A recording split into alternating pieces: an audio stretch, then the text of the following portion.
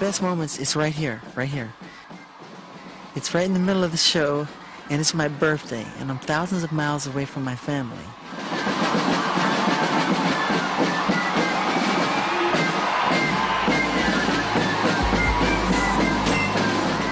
When they surprised me with a full marching band, and then they brought out this huge, beautiful birthday cake,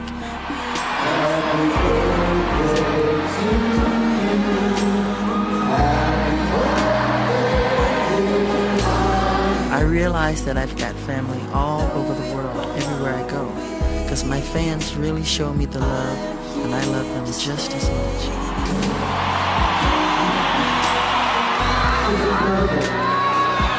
Thank you so much.